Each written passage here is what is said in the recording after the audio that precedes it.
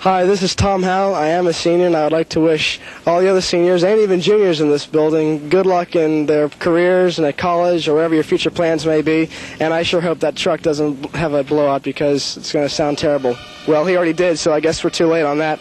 But anyhow, this is Tom Hough, and thanks for having me on.